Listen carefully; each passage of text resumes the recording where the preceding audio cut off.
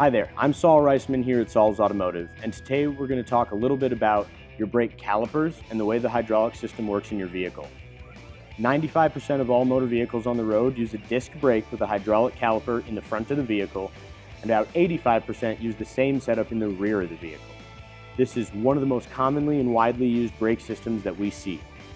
When owners typically either come in or call about their brake concerns, they are always worried about the brake pad itself, which is the actual friction material designed to burn up.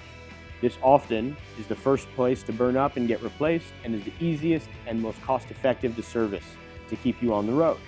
However, oftentimes in Colorado, we see vehicles come in where the brake pads themselves are worn unevenly, not square, or even chamfered from one side to the other. This is often an indicator of a problem with the hydraulic caliper in the vehicle and is something that many repair shops can overlook. Many shops will often sell a brake pad and or rotor replacement without even inspecting the condition of the pads, simply noting the depth and how much pad life is left in making their recommendation. At Saul's Autotek, we want to ensure that if we repair your braking system, that it works exactly as it did factory, if not better, and that it lasts for the life of the vehicle. We will always check the calipers in your vehicle when it comes in for service as part of our free brake inspection to make sure that the recommendations we're making for your vehicle are the proper ones and that the new parts going on your vehicle are going to last and wear in the correct manner. We're going to start with just a basic single piston caliper. This is a very basic design. Just like you would use your four fingers and your thumb to squeeze onto something, this caliper is designed to sit onto a rotating disc in order to squeeze. In the center, we can see the actual caliper piston itself. At this moment, the piston is completely retracting. When a brake pad is installed on the inner and outer portions of it, and hydraulic pressure is applied via the lines on the back of it from you pressing on the brake pedal, this piston will extend in order to squeeze the brake.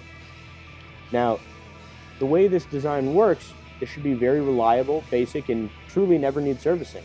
In many vehicles, your calipers will last the life of the vehicle and will never need to be replaced. However, many problems can happen right here in this piston. Over time, this piston from extending and contracting can wear unevenly, can bind and sit askew into the caliper stand. This can lead into uneven brake pad wear. At the same time, this piston can get firm and stiff inside its housing and not want to move smoothly. This will lead to less wear on the inner pad and more wear on the outer pad.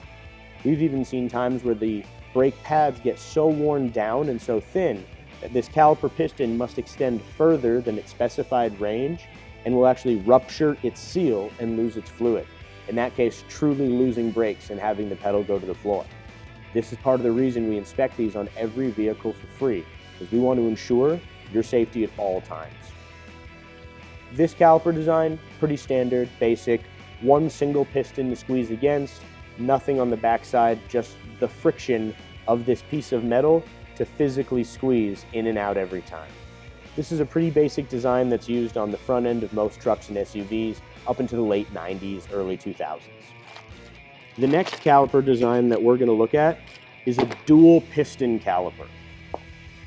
Now, while this caliper does have a stand affixed to it from the factory, this caliper also features two independent pistons. The reason for this is by using a smaller bore piston, we're able to apply Pascal's principle of hydraulics in a greater aspect to generate more braking capacity using the same amount of braking fluid. By using a smaller diameter piston, we're actually increasing our force per surface area ratio to get more braking force out of the caliper. Additionally, having two pistons allows for smoother operation as there's more surface area around the perimeter of them for those seals to stay seated and lubricated. This leads to a caliper that wears slower, lasts longer, and truly is a better stopping performing product. Additionally, when we see these rubber boots, this caliper slides back and forth as you press the brake pedal so that instead of just squeezing from one side to the other and acting as leverage, this caliper can squeeze from both sides by allowing it to slide and use that frictional stopping power equally. While this isn't a perfect equal to equal force, this allows better distribution to keep the outboard pads wearing at almost the same rate as the inboard pads. This design is known as the Akebono caliper. This is used on everything from Grand Cherokees to Land Rovers to BMW product and beyond. And this caliper costs about three to four times what a standard single piston replacement does. This kind of caliper is used on most trucks, SUVs that we see on a regular basis here at Sauls Autotek. We're gonna keep stepping up our game here. The next caliper we're gonna look at is a four piston caliper. Now this is truly a racing thoroughbred design. We have a few major improvements here that are truly worth noting. First and foremost, we're gonna state the obvious. We have four pistons to allow the most equal distribution of braking force possible. By having pistons on either side of the brake pad itself, we have truly 50-50 brake distribution. Additionally, if we look at the caliper, we can see there's a seam through the center. This is actually a two-piece brake caliper. When we rotate it over, you can see that there's bolts affixing the one side to the other, and this is to allow fluid to pass through the center of the caliper into the back side, and therefore compress the outboard pistons, the inboard pistons at the same rate at the same time. Now this caliper does not need any rubber boots to slide on as the caliper itself can apply friction from both directions. One other major important aspect that they've upgraded here is instead of the brake pads themselves snapping into the location of the piston to hold them in place, we have two guide pins that are literally just floating pins that'll stick through the brake pads so that the brake pad can float and not be physically mounted. This allows for the least amount of friction when applying the brakes and means that when you step onto the brake pedal itself, all four pistons immediately extend, the pads are floating and immediately create friction, and you get one of the best stopping systems on the market.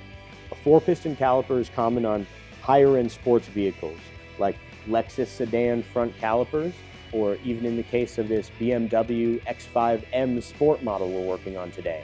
These all utilize a four piston caliper. This is a major, major performance upgrade, and at the same time, is a definitely more expensive caliper than your factory replacements on most vehicles. This caliper is probably only used in about 10 to 15% of applications. However, some manufacturers take your safety very seriously and put these incredibly well-performing brake systems on even their most basic vehicles. One of those manufacturers is Toyota, who puts this design on all of their RAV4s, 4Runners, Tacomas, Tundras to make sure you're safe. One of the last designs we're going to look at today is a rear caliper. And this is a very special caliper for a couple different reasons. First off, it is a single piston caliper, but we'll notice that the piston bore is not hollow. It is tapered and has two marks on it. These are just marks like you would use for a flathead or Phillips screwdriver that are used to retract the caliper. Instead of this piston extending and compressing in a straight line, this piston actually rotates like a screw as it goes forward and back. And there's a few different reasons for this. While this doesn't create the most friction and only has a single piston caliper, this allows to be used in the rear of the vehicle where braking capacity is not nearly as significant and allows the use of a parking brake through a mechanical system. And here's where things get tricky. The idea of your parking brake is to use mechanical leverage instead of hydraulic leverage. Sitting in your vehicle holding the brake pedal the whole time is not good for your caliper's hydraulic fluids. It's not good for the seals and it'll eventually wear them out. This is a very impressive piece of technology because it's a hydraulic piston caliper. It allows the use of a hydraulic caliper in order to close itself, but at the same time has a spring lever on it that uses spring motion to drive this center screw through the same piston bore, meaning the same piston can move from either hydraulic pressure or mechanical leverage. So in the case of this Volkswagen Audi caliper, when you were to apply your parking brake and pull that lever up, instead of applying hydraulic pressure through the center, you're applying mechanical pressure. While this does work well and does hold the vehicle, as an integrated design, it saves significant weight over a counterpart of having a standalone mechanical brake. This is not a great design. It doesn't last long.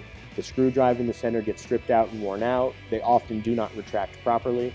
And because this parking brake is attached to it, they can be very difficult to service. Some of the locations of their mounting spots in the vehicles have made it a significant labor problem to be able to access these compared to other motor vehicles. So while Volkswagen Audi has created a wonderful piece of technology by making this a one-piece integrated design, this is probably the most common replacement caliper that we see here at Sauls Autotek. If you have a Volkswagen Audi product and your rear calipers haven't been serviced, please let us check them for free, just to make sure that they're doing what they should and that everything's operating properly. We've seen far too many issues with these calipers, leading to them seizing, leaking fluid, bursting, rupturing, all kinds of problems. We want to make sure that doesn't happen to you. So we want to take one of the most prevalent ones that we see here at our facility and give you a little bit better knowledge about how to see this yourself. If, when you apply the brakes in your Volkswagen or Audi vehicle, you feel the vehicle pull to one side or the other, or you feel a chatter or uneven braking, 99% of the time the problem is coming from one of these rear calipers. Here at Sauls Autotek, we stock these on our shelves because they're such a commonality replacement. If you have a problem with your brakes, please give us a call 303 919 7769. We'd be happy to help.